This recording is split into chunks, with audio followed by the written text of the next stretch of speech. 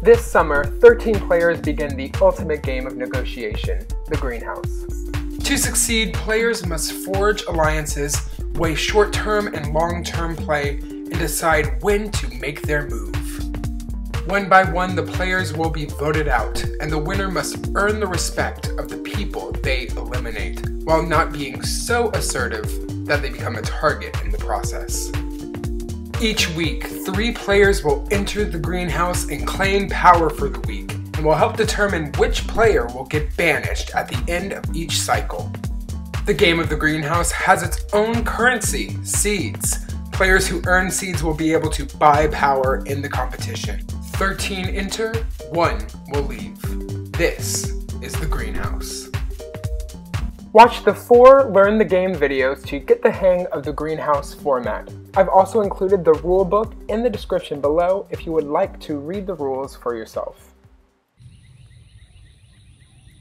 Hi there. Plants. Outside. Competition. Negotiation. What do these words mean to you? Let's explore that together. All right, welcome to the first ever season of The Greenhouse. This video is an instruction video to help you learn the rules of the game. I'll talk through some potential strategies as well. All right, you guys, now we will go through a normal round of The Greenhouse.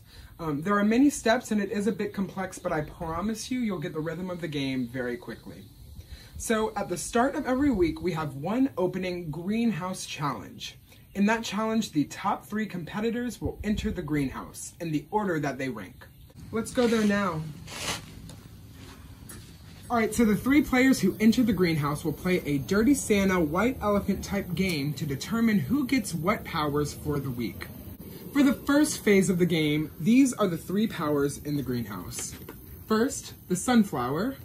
Second, the rose. And third, the tulip. The Sunflower nominates two players for banishment each week, and the two players that they nominate receive seeds. That's the in-game currency that I will explain in a minute. The Rose nominates one player for banishment and breaks ties in the event of a tie at elimination vote ceremonies. Lastly, the Tulip. The Tulip will block two players from voting at every banishment ceremony. The players who have their votes blocked will then be able to save those votes for future eliminations. All members of the greenhouse are immune for the week and cannot be nominated. All right, now we will run a practice session of how the greenhouse flower picking ceremony goes. So uh, in this hypothetical situation, we just did the first challenge of the week. Bob came in first, Holly came in second, and I came in third, flop. So uh, the way it works is it starts with the third place finisher and works its way up to the first place. So I go first. I would like to have Tulip because I don't want to nominate anyone this week and it's just a safe move. Holly will go next. I am going to snatch the tulip. Okay, so Holly steals from me, and once that you're stolen from, you have to choose something that has not been picked yet. So I'm going to choose the rose. Bob goes last. So Bob also steals from Holly, and Holly must pick the sunflower because she can't re-steal after being stolen from. So in this situation, Bob would be tulip, Holly would be sunflower, and I would be rose. That's how it goes. One more quick note, sunflower nominates first, and then the rose nominates. So the rose makes the third nomination that occurs. If the sunflower nominates someone that the rose wanted to nominate, too bad, the rose has to figure out someone else to pick. After the greenhouse competition, everyone will know who has what power for the week. And after some time to mingle and deliberate, everyone will come to the basketball court where we will do the seed and immunity challenge.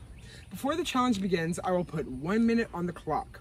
And I will say, anyone who wants to compete for immunity, go on this side of the court. And anyone who wants to compete for two seeds, go on this side of the court. Then for a minute long period, players will be able to choose each side and switch sides based on who they might compete against. And then at the end of the time, uh, we will see who will be competing for immunity and who will be competing for seeds. Everyone will know who's competing for what, including the greenhouse players. Then, after the competitions have been chosen, the seed and immunity competition uh, will happen simultaneously for the most part. The first place finisher in the immunity competition is safe for the week and cannot be nominated or banished. The winner of the seed competition will win two seeds that they can keep and use whenever they want. After the seed and immunity challenge and everyone knows who the winners are, there will be more time for mingling and strategizing, and then we will move to the nomination ceremony, where first the Sunflower will nominate two players for banishment, and each of those players will receive a seed. The Rose will nominate the third player for banishment, and all three of these players will be at risk of elimination. One of them will be banished by the end of the week. Also, when I say week, I mean round. It's just kind of the way we talk here.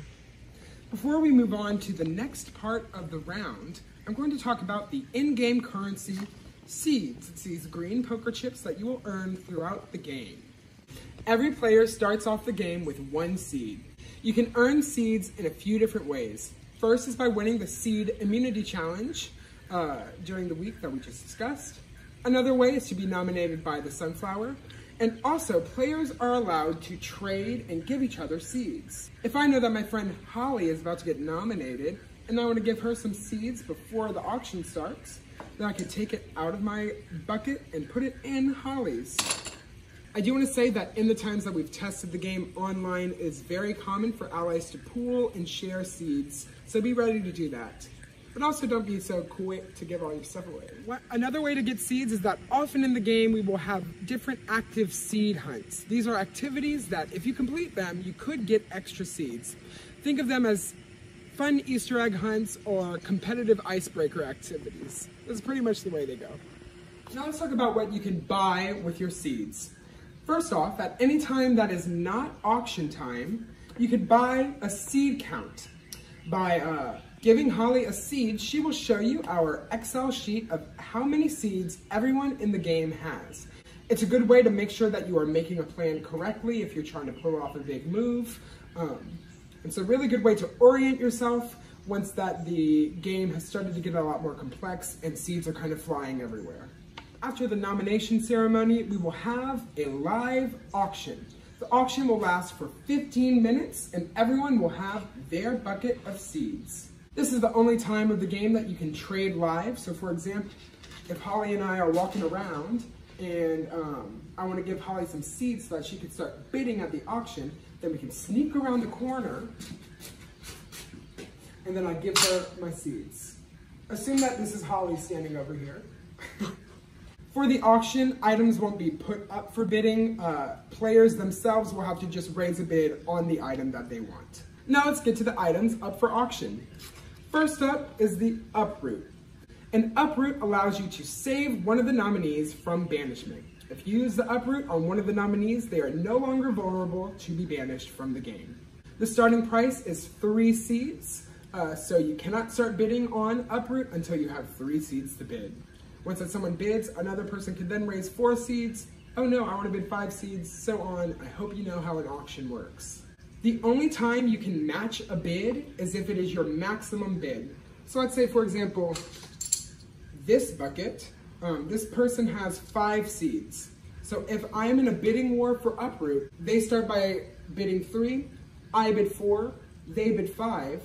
I only have five seeds, so I can't outbid them. However, because I only have five seeds and it's my maximum bid, I can therefore bid five seeds and match them. If the timer ends while the bid is matched, we will random.org uh, the winner of the bid. I will say that in all of the games that I've run of the greenhouse, I don't believe any bid has ever ended in a match. Only the person who wins the bid pays the seeds. During the first phase of the game, whenever uproot is used, uh, the nominee is not replaced. So since there are three nominees, if uproot is used, the two remaining nominees are the final nominees. This changes in the second half of the game. I'll explain that when we get there. Next up is drought. If you want to simplify the game and take out all of the banked votes, this is the object for you. At a starting price of five seeds, the player who wins this can decide whether or not to end banked votes for the game. If drought is played at the following banishment ceremony, Anyone who has banked votes must play banked votes, and the tulip as a power is removed from the game. It's a great way to simplify the game. If you find that the other alliance has all of the bank votes, it's a good way to really weaken your enemies. Uh, I will be honest with you, no one has ever purchased Drought. We're still waiting to see who's bold enough to do it. Next up is Green Thumb. The starting price for Green Thumb is four seeds. You can't start bidding until you have four seeds in your name. The Green Thumb is a pretty big advantage. Right after any greenhouse challenge, the holder of the Green Thumb can play it and ask to replace one of the winners in the challenge. So say for example, Brody, Holly, and Thomas won the greenhouse challenge and I don't trust Thomas at all, I could play this green thumb and replace Thomas in the greenhouse. So now, the three people in the greenhouse are Brody, Holly, and me. One more thing about green thumb is that only one green thumb can be in the game at a time. So once someone has purchased green thumb, it will not be added back to the shop stock until it has been played.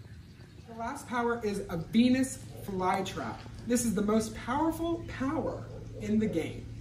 At a starting price of 10 seeds, uh, you can only start bidding on this if you have 10 seeds in your name. The person who buys the Venus flytrap can automatically banish anyone they want from the game, even if that person has immunity. The person with the Venus flytrap can eliminate the person who's a sunflower, the person who won the immunity competition, anybody. Everyone's fair game, ultimate power, drama. With the Venus flytrap, one thing to keep in mind, it will only be purchased once per season. Once that this is played and someone is eliminated with one single vote, the Venus flytrap is removed from the game and is no longer part of the season. One more thing about the Venus flytrap, it virtually cancels the round. So once that someone buys the Venus flytrap, consider the nominations null and void. The only decision that matters is who the Venus flytrap wants to banish. Once that they banish someone, the round resets and we start a new week of the greenhouse. One thing to note is that Uproot, Green Thumb, and Venus Flytrap are all passable. So if for whatever reason I bought one of these items, but I don't want to be the one to use it, I could hand it over to an ally after I've purchased it so that they could play it. So for example, if I have Green Thumb and I know I'm about to get voted out, I could hand it over to an ally and they could keep it once that I'm gone. So after the auction and the nominees are finalized, everyone who can vote will receive a blue voting chip. The sunflower and the rose can't vote, and the two or three nominees can't vote either. Everyone else can, including the tulip. So everyone who is eligible to vote will receive their blue chip. All of the players will see clearly who is able to vote. Before dispersing, the tulip will block two players from voting. Those two players will have their blue chips taken away, and they will instead be given red chips that they have to wait to use. So then it's time to vote.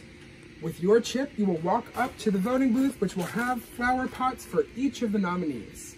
You will say something to the camera about why you are making a decision, and you will place your voting chip into the bucket of the person that you want to see eliminated from the game. Additionally, in later rounds, if you've accumulated red chips, you can play them as additional banked votes. So let's say it's round three and I've accumulated two chips. If I'm a nominee, I'm able to come up and vote even though as a nominee, I don't receive a blue chip. Because I've already accumulated these two red chips, I could use them at whatever elimination ceremony I want. So as a nominee, I'll walk over to the voting booth and I'll say, I know Brody's getting a lot of votes tonight. So to save myself, two chips to Brody. One thing to note is that if you have been blocked by the tulip, you cannot use your banked votes, like during that week that you've been blocked. Nominees can use banked votes, Sunflower and Rose can use banked votes, and normal voters can also use banked votes. The person with the most votes in their bucket will be eliminated from the greenhouse, whisked away on the golf cart, and will have an exit interview with Anna. So everything we've just discussed is the general skeleton of a normal greenhouse round.